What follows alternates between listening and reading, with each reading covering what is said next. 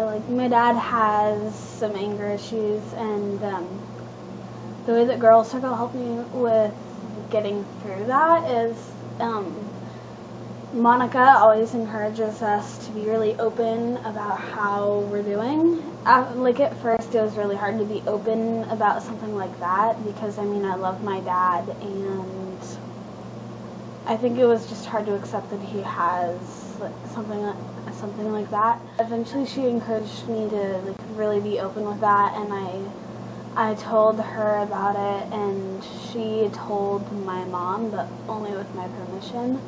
And now, um, my mom told my dad, so he agreed to have some counseling. So we're that that's one way that Girls Circle helped me, but also it's just all the girls there. We're like a family now because we're just so close and tight knit because we like share everything with each other.